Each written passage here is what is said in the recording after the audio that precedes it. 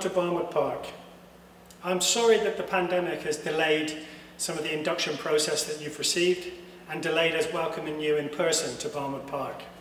However, today I'm just going to go over a little bit of information to help you with that. This is an exciting time for you to join Barnwood Park. You are the third year group to be mixed so that we have boys and girls in all of Key Stage 3 now. We also have a very consistent, strong track record in GCSE outcomes. We pride ourselves in our family ethos and our three guiding principles, and we know that you will work hard to reflect these in everything that you do. We also want to make sure that we are building effective citizens for our community. We have one rule that you need to follow, and that is our golden rule, to follow instructions first time. We will not ask you to do anything that is dangerous. All of our instructions are based around your health and safety or that of others and effective learning. We will not apologise for our high standards here at Barnwood Park. We're very proud about our results, our uniform, our achievements, our behaviour and our community. And we know that you will work with us to make sure you are the best version of yourself that you can be. Any student who comes to Barnwood Park has to live by our principles. Every student has the right to feel safe when they come to school and also to have the right to learn effectively and not have that disrupted by other people. Also, your attendance is vital to your progress. If you are not here, we cannot help you to learn. If you have an attendance of 80%, you will have missed one whole school year by the time you reach year 11. And that is difficult for you to achieve your best. If you cannot live by those principles, Barnwood Park is not the right school for you. Here are your tutor team. You have already seen some of these in the um, induction video that we've already posted.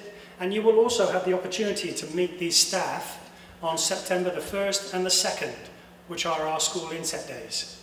You will receive a personal invitation letter with a slot for you to meet your tutor so that you can get to know them better and discuss any issues or concerns that you may have before you arrive on the 3rd of September.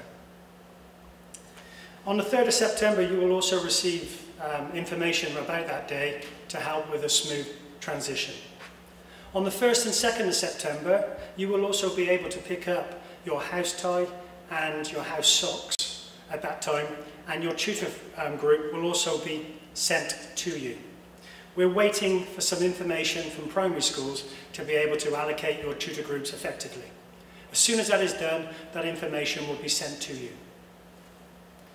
I mentioned our house our system. Our house system is year 7, A and S forms will be in the Ennis house. 7P and I will be in Rowling house, and 7R and 7E will be in Parks house. And the aim of this is to get you working in a community, to get you having healthy competition with each other and collaboration with each other. You will also have a broad and balanced curriculum and this PowerPoint will be shared with you so that you can see the subjects that you will receive. And this will not be um, dented by the pandemic. You will also have opportunities for extracurricular and for homework clubs. And these will still go ahead even with COVID-19 restrictions. You will receive information about how we report on your son's or daughter's progress um, and we will be discussing that with you in person on the 1st and the 2nd as well. There will be information shared with you about pickups and drop-offs and how that will happen on the first day of the 3rd of September. Um, and I also just wanted to highlight to you our mobile phone policy.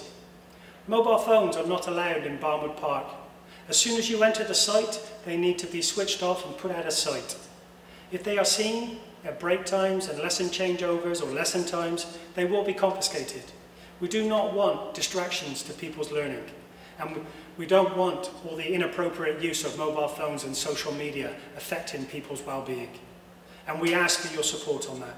If you need to contact your son or daughter, you can do so through reception at any time. All that's left for me to say now is we wish you a safe and enjoyable summer and we look forward to welcoming you back on the 1st, 2nd and 3rd of September. Thank you very much.